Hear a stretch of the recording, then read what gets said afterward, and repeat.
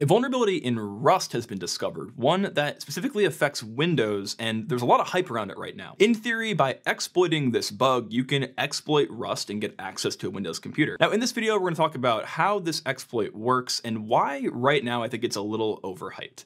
Also, if you're new here, Hi, my name is Low Level Learning. I make videos about programming, security. So if you'd like to learn more about that stuff or you want to just hang out with me, hit that sub button. Really appreciate it. Also, like the video. Now, this vulnerability in Windows is related to what is called command injection.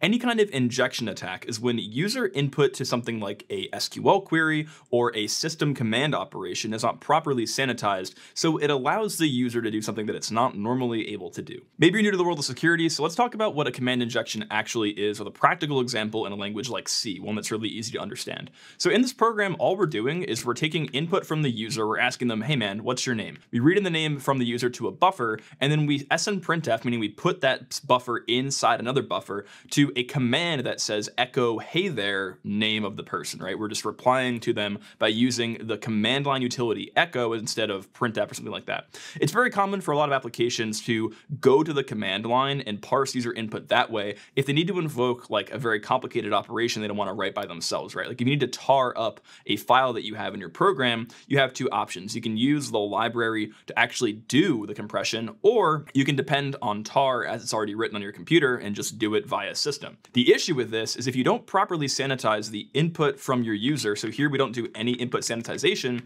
and we just put that right into the echo hey there buffer, and then put that into the command buff, and then run that in system. Because of this, I can put arbitrary commands into this buffer and then get what is called a command injection. I'm injecting a bash command into the system buffer. So I can show you how to exploit this. So we have our program here, what's your name, triple L, it says, hey there, triple L. Now what if I wanted to do evil stuff in this program, right? Because I have the ability to do a command injection, let me show you how that actually works. Instead of typing my name, triple L, I can type something like an escaped bash command using a command substitution. So you do that like this in bash, and I can just type ls, for example, right? So via this program, I'm able to put, instead of the data that's expected, I can put a malicious command that gets ran on the command line. So hence I've injected a command. And if I wanted to, I can get really fancy. I could do, you know, reboot, which restart the system. I'm not gonna do that because I'm recording a video right now, but you, you, got, you get the point. And thus this CVE. Critical Rust flaw enables Windows command injection attacks. And that headline sounds very good, very sensational, and we'll get into why it's a little over the top in my opinion. Threat actors can exploit a security vulnerability in the Rust standard library to target Windows systems in command injection attacks attacks. Track the CVE 2024-25576. This flaw is due to OS command and argument injection weaknesses that can let attackers execute unexpected and potentially malicious commands on the operating system. And again, that paragraph out of context, very, very dangerous. Like I read this and I was like, dude, no way, what is happening with Rust right now? And then GitHub, one of the authorities that can assign CVSS, gave it a 10 out of 10, which is like, for me, when a CVE has a 10 out of 10 CVSS, that is full remote, unauthenticated, remote code execution. That is like no shit.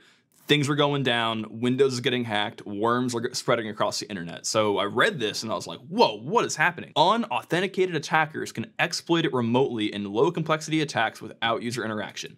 I agree.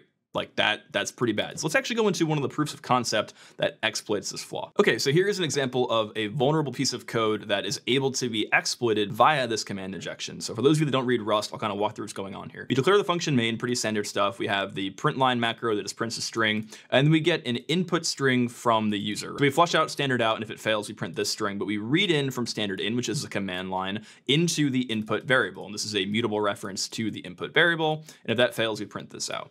We then run a command via the command library, via the standard process library.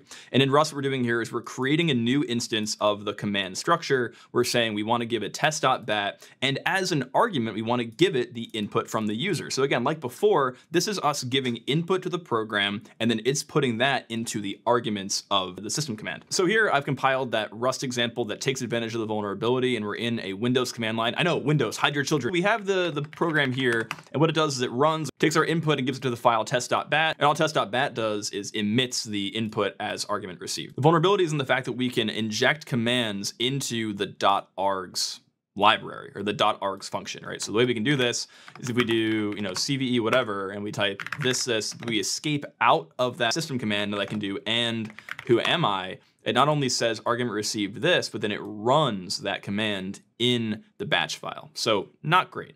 So the vulnerability is if you are running a .bat file, if you're running a Windows batch file and also allow the user to give it an argument, you're able to inject arbitrary commands into this field. I'll say that one more time for those of you in the back that can't hear. If you're running a batch file in Windows, in Rust, and you allow the user to pass in an argument, then you get command execution. This is why I'm a little upset with the rating that GitHub gave this uh, the CVE, right? It's not great. I don't like that we have command injections in Rust. For you go and comment, oh, Rust shill or whatever, let me explain myself. I understand that this is a vulnerability in Rust language. I admit it. Like this is a bug in Rust that is very, very bad.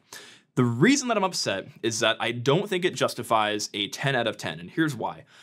When you have a bug that is a 10 out of 10, the 10 out of 10 implies that everyone that uses this piece of software, like Windows, for example, is vulnerable to this bug. And also this bug is remote unauth code execution, like hide your kids, hide your wife, like it's going down, like things are bad, okay?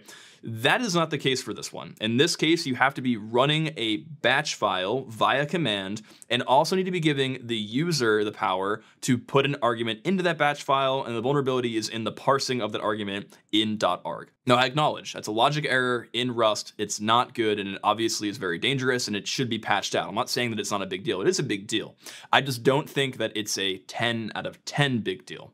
Again, when I hear 10 out of 10, I hear remote Windows vulnerability, completely RCE. It's happening everywhere. It's in the SMB stack or it's in the IP stack of Windows. I think it's really important that when we assign CVEs, we don't go over the top because then it degrades the value of the CVE meter, in my opinion. I think the reason this is getting so much attention is because typically when you're doing actions that are injectable, right? So you're forming a command that's going to run in an environment that requires it to be sanitized, right? So for example, a, a command to run on the command line or maybe an SQL query.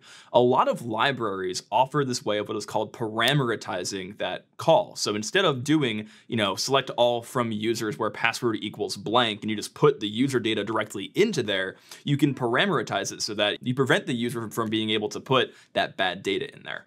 And so we kind of get a parameterization library via command. So when you put data into .arg, the expectation is that it behaves the way that parameterized queries would work in SQL. That being said, obviously because of this vulnerability, it's not how it works. We just saw here, here before that we're able to take complete advantage of it.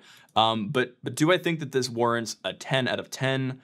Not really. Anyway, that's it for now. I hope you enjoyed this video. I hope it shed some light on this CVE. If you like this video, do me a favor, hit subscribe, hit like, and then go follow me on Twitch because I stream there too. Also, not aware of the XZ situation, the backdoor in a public library, that whole thing is crazy. Go watch it here. We'll see you there.